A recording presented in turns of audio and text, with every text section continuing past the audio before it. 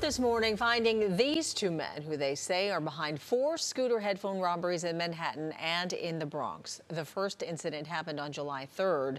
The suspects hit a man in the head and then tried to take his headphones on East 79th Street. Just one block away, and two hours later, they tried to steal another set from a woman. Later that same day, in the same Upper East Side neighborhood, the duo snatched headphones from another woman's head. Four days later, the pair forcibly took headphones from a woman in the Bronx. So if you know who these men are, you're urged to call Crime Stoppers.